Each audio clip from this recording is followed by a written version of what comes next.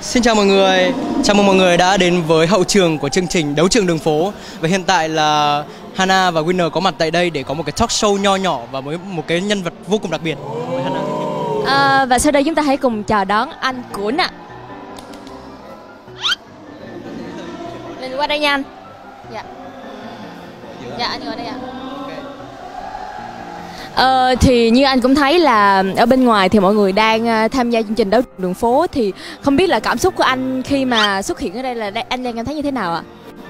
À, thì là đầu tiên mình xin cảm ơn tới ờ, Red Bull cũng như là các ban tổ chức đã tạo ra cái sân chơi này dành cho tất cả các anh em không riêng gì chỉ bộ môn parkour mà kể cả các bộ môn đường phố khác.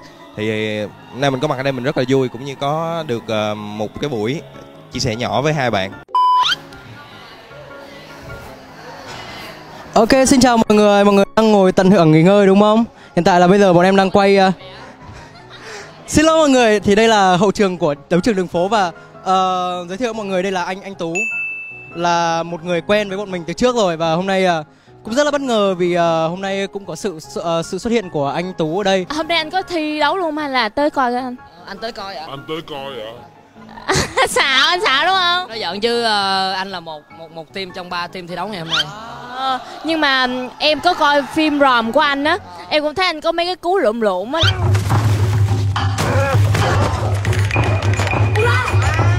Là em cũng biết là anh anh cũng biết ờ, chơi cái này nhưng mà không biết là anh anh anh tập từ bao lâu rồi anh? Ờ, anh tập môn parkour cách đây khoảng uh, 9 năm. Ờ, anh tập tới bây giờ được 9 năm và thời gian quay phim ròm này chắc tập được ờ, tầm 5 6 năm rồi. Ừ. ờ, nhưng mà cái thời gian đầu lúc mà anh tập á nó có khó khăn gì không anh Ờ, thực sự rất là nhiều tại vì cái việc mà tập một bộ môn thể thao nó là khó rồi. Và đặc biệt đây là một bộ môn thể thao mạo hiểm nữa và nó có rất là nhiều cần rất là nhiều sự kỹ năng và cái ý chí cái cái cái cái ờ, sự quyết định cứng rắn ở trong cái đầu của mình đó.